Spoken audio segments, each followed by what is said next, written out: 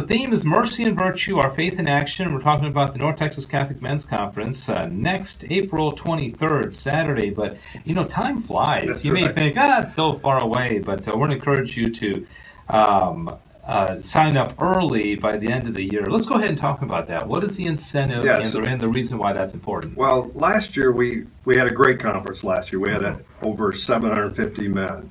The problem is we had 500 of those men sign up about two weeks before the, mm-hmm. the, the actual conference. So this year we've decided to put a, a really good incentive to sign up early. So if you sign up before December 31st, it's two people for $49. Yeah. So basically less than $25 each. So I'm encouraging people, even if you don't have a buddy yet, go ahead and sign up for the two and then invite somebody later on down the road and Yeah. bring them with you to the Or, or, or get four. I mean, you can get four for what ninety-eight dollars. That's invite, right. Invite three. Uh, I don't know if you can do that. Can you? Can you Yeah, yeah, multiple sure. ones? You can do Okay. multiple ones, yes. Okay, all right. And so two for forty-nine dollars uh, up until December thirty-first. If you don't buy two, it's, they're each going to be thirty dollars uh, if you only buy an individual ticket. But it's kind of like the HOV lane. You know, get somebody in your car, come right. with you. Why drive alone? So, so go ahead and buy two. And as Rick said, even if you don't know exactly who you're going to invite, you're going to have that uh, ticket there. So when you talk to somebody in church, you can say, "Hey, I got a ticket for you